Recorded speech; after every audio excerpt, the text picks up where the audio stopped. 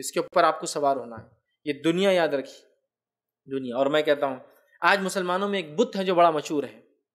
एक बुत है जिसकी हम सब पूजा करते इबादत करते अल्लाह हम करें माफ़ करें। जो सब इबादत करें, लेकिन वो दिखता नहीं उसकी खसूसियत है किसी से भी को मुसलमान बुत की इबादत तो यकीन नहीं करेंगे ना वो?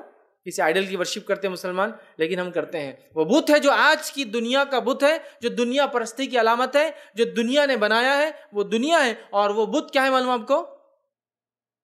वो बुत है लोग क्या कहेंगे? ये सबसे बड़ा बुत है जिसकी हम सब इबादत करते हैं आज। लोग क्या कहेंगे? शादी ऐसी क्यों की? लोग क्या कहेंगे? कपड़े ऐसे क्यों पहने? लोग क्या कहेंगे? गाड़ी ऐसी क्यों ली? लोग क्या कहेंगे?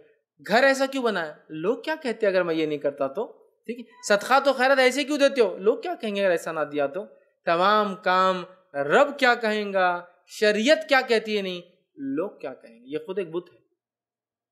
ये हवा अपनी ख्वाहिशात की इबादत है। लोग क्या कहें? ये बुत की इबादत हम सब करें, अल्लाह पर हम करें, माफ़ कर। ये भी शिर की किस्म है। कुरान में अल्लाह ने कहा नबी कि आपने उस शख्स को देखा जिसने अपनी हवा ख्वाहिशात को अपना रब बना दिया, ख्वाहिशात को रब बना दिया? आज दुनिया परस्ती ने हमारे ख्वाहिशात को अपना रब बना लिया हमने। इसलिए मैंने कहा, ये ख्वाहिशात के ऊपर सवारी नहीं करोगे ना, ये आप पर सवारी करेंगे। इस दुनिया के नीचे नहीं दबाओगे ना, ये तुम पर गालिब आ जाएँगी। और आज हम पे दुनिया गालिब आ चुकी